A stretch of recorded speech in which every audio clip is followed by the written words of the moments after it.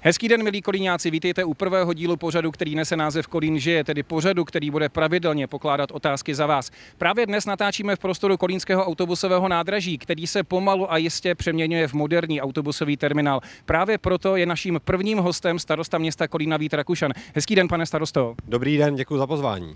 Nabízí se první otázka, v jaké fázi vůbec rekonstrukce kolínského autobusového nádraží právě teď je?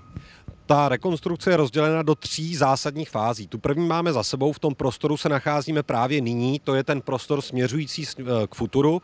Druhá a ta zásadní část probíhá právě nyní, to je přímo to přednádraží, kde vznikne ten samotný autobusový terminál, kam se přesouvá naše autobusové nádraží eh, z té staré velké trošku ošklivé plochy eh, právě tak, aby lidé mohli přestupovat suchou nohou na eh, vlak z autobusu. A to je ta část zásadní. A ta třetí to bude úprava celého toho přednádražního prostoru, eh, kde se v současné době právě nachází autobusové nádraží a parkoviště. Jsme tedy v té druhé fázi, za tím projektem, tak jak je načasován, máme spoždění asi 14 dnů, ale to u tak velkého projektu, jako je tato rekonstrukce, u největší investiční akce v tomto prostoru za dlouhých 40-50 let, je to, myslím, celkem ještě přijatelné spoždění.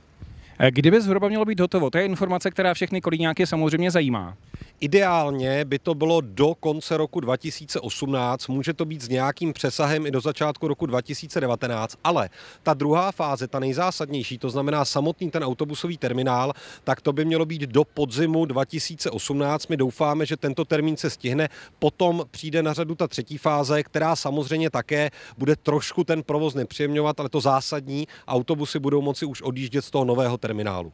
Vy jste známý tím, že sledujete sociální sítě a reagujete taky na všechny příspěvky na sociálních sítích, takže jste určitě zaznamenal také problémy všech diskutujících, které se týkají nepořádku tady v okolí už nové části autobusového terminálu. Jak na to město reaguje? Já bych to rozdělil do tří částí. Ten problém je určitě existující, to znamená, ten nepořádek tady je. My už jsme zareagovali tím, že jsme řešili počet odpadkových košů i jejich velikost, nechali jsme sem po dobu rekonstrukce přidat i ty mobilní popelnice, které už tady vidíte. Další věc, kterou řešíme, je nějaký kuřácký koutek. S kým máme opravdu velké problémy, jsou kuřáci, kteří tady rozhazují vajgly všude možně okolo. My teď s architektem města hledáme takové místo, eh, které by pro ty kuřáky bylo vyhrazeno, aby nerušilo ostatní, ale o to přísněji by potom městská policie pokutovala jakékoliv kouření jinde než v tom vyhrazeném prostoru. Co nás velmi mrzí, že lidé si toho nového prostoru ne všichni úplně neváží. Máme tady rozlité limonády, piva na té nové dlažbě, musí se to čistit, ale s firmou AVE a myslím si, že už je to na tom prostoru vidět, jsme domluvili častější čištění, častější vyvážení košů,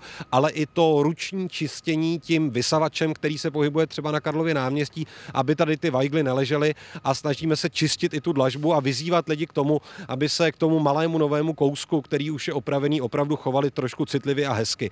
E, ten problém vnímáme, snažíme se na to reagovat, jak říkám, nové koše, vymezení kuřáckého koutku. Pojďme na chvilku odbočit od autobusového terminálu k nádraží Českých drah. Víme, že i budova nádraží Českých drah si zaslouží rekonstrukci a ta by měla proběhnout.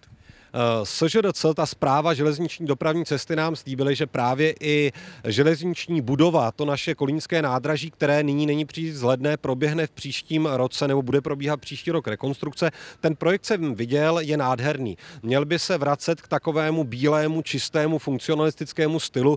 Ty nevzhledné luxfery, které tam vidíme a které byly dodány zpětně, by měly zmizet. Měla by tam být krásná skleněná plocha, zatím by v takovém mezipatře měla vzniknout i kavárna s výhledem na ten opravdu připravený prostor, takže my doufáme, že do konce roku 2018, nejdéle do půlky roku 2019, dostane Kolín zcela novou vstupní bránu a to je to, co mu dlouhodobě chybí a to byl konec konců jeden z těch závazků, s kterými jsem do funkce šel. Autobusové nádraží a celý tento prostor si tu rekonstrukci už dlouhodobě zaslouží.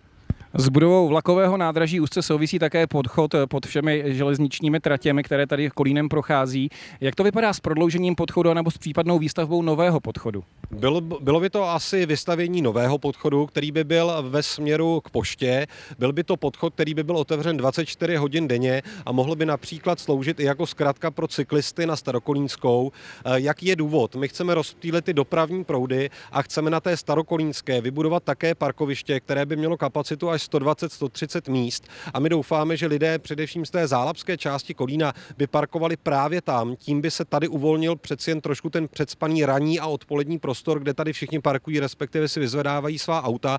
A ten podchod by tedy neměl souviset jenom s provozem té vlakové budovy. Měla by to být taková nová zkratka na tu starokolínskou, například při výletu na Samberg, na kole a podobně, ale my se do toho pustíme až ve chvíli, kdy budeme mít stoprocentní záruku, že železniční dopravní cesta postaví ten podchod, údajně v současné době projektují. V té chvíli my se pustíme do vybudování parkoviště na Starokolínské. Mimochodem jedna místní kolínská firma už to parkoviště v současné době projektuje. My tedy doufáme, že tím se vlastně uzavře série těch dílčích rekonstrukcí tady v okolí nádraží a před nádraží.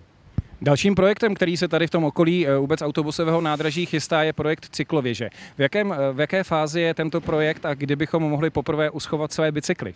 My máme zažádáno v rámci toho IROPu, což je ten operační program evropských peněz, který umožňuje budování různé dopravní infrastruktury. Musí to navazovat až na autobusové nádraží, protože z toho samého dotačního titulu my v této 50 milionové investici čerpáme výrazné prostředky. Tedy v tom roce 2018 bychom se měli dozvědět, jestli jsme úspěšnými žadateli o projektové peníze na výstavbu cyklověže v Kolíně. Podařilo se nám už v této chvíli získat ještě 500 tisíc ze středočeského kraje, zbytek by dofinancovalo město Kolín. Tedy v roce 2018 bude jasno, zda v roce 2019 začneme s výstavbou té cyklověže. Eh, my doufáme, že právě už v rámci toho roku 2019 by mohla sloužit a máme takovou představu, je to zatím sen, že by se v Kolíně mohla v rámci chytrého města eh, rozšířit i taková chytrá půjčovna kol, že na různých místech by si lidé mohli půjčit kolo někam v Kolíně dojet, na jiné místě ho zase vrátit, například u významných turistických památek v našem městě, třeba i u vodárny. A to by s tím samozřejmě mělo souviset. Chci ještě dodat, eh, k nádraží povedou ze všech stran i vyznačené cyklopruhy, tedy doufáme, že ta cyklodoprava v Kolíně bude alternativou k tomu, aby tady lidé každý den parkovali své automobily. Dá se už teď říci, nakolik zhruba vyjde to parkování na jeden den? E, tak to parkování, myslíte parkování u těch kol? No, my máme představu, aby to pro lidi bylo přijatelné, to znamená, mělo by to být srovnatelné i s tím parkovným u automobilů. Nevíme ještě zcela přesně, budou tam nějaké dotační podmínky, které nás budou i cenově limitovat, ale já nemám představu, že by to mělo výrazně přesahovat nějakých třeba 20-30 korun, jako se pohybuje parkovné u automobilů. Natáčíme v prostoru nově vznikajícího autobusového terminálu. Nedá mi to se nezeptat, co říkáte na eh, vzkazy všech těch na sociálních sítích, kteří si stěžují na aktuální situaci kolem spolehlivosti městské autobusové dopravy. V Kolíně se děje řada rekonstrukcí a samozřejmě dopravce na to nedokázal úplně adekvátně reagovat. Bohužel ty autobusy skutečně spoždění měly a my vnímáme tento problém. Pan místo starosta Růžička, který má v gesci dopravu, byl teď jedna eh, dvě hodiny se Sendražickými, eh, kde ten problém byl asi úplně největší. Dopravce slíbil, že příští příští rok posílí spoje, město do toho i bude investovat, bude tady řidič navíc, bude tady autobus navíc a budeme se snažit, aby k těm spožděním nedocházelo. My jsme napsali současnému dopravci vytýkací dopis, že musí počítat s tím, že když jsou rekonstrukce, tak na to musí umět adekvátně reagovat a my bychom si vůbec představovali, že ten rozvoj té městské autobusové dopravy by měl směřovat k té chytrosti, modernosti. To znamená, aby například na zastávkách byly, byla značena ta spoždění, aby aktuálně lidé viděli, jak ten autobus rychle přijde jede, za jak dlouho, proč má spoždění a podobně. To všechno jsme dopravci řekli i v rámci toho vytýkacího dopisu a my doufáme, že ty oprávněné stezky lidí eh, už příští rok nebudou potřeba a že i při té velké investiční činnosti ve městě se povede zajistit, aby autobusy jezdily včas a spolehlivě. Jak je to s projektem dynamických jízdních řádů? I ty by se měly rozjet. To by se mělo rozjet už také v rámci toho příštího roku. My si myslíme, že ta situace, kdy tady máme nějaké papírové jízdní řády, které často neprochází ani dostatečnou aktualizací, to už prostě neodpovídá 21. století. My bychom měli představu, že ten nový dopravce, který do Kolína přijde v roce 2019, kdy skončí smlouva tomu současnému, může zůstat ten současný, pokud nabídne nejlepší podmínky, ale může přijít i jiná konkurence a my chceme, aby každé vozidlo bylo vybaveno GPS systémem, aby zastávky byly vybaveny těmi automatickými automatickými chytrými informačními tabulemi, aby například lidé měli možnost autobusech připojení k Wi-Fi. Chceme, aby do roku 2020 ta městská autobusová doprava prošla velkým kvalitativním skokem dopředu. Pane starosto, díky za vaše odpovědi. No a vám, milí kolíňáci, samozřejmě popřeju hodně štěstí a budu se těšit u dalšího dílu pořadu, který klade otázky za vás. A nezapomeňte, Kolín žije.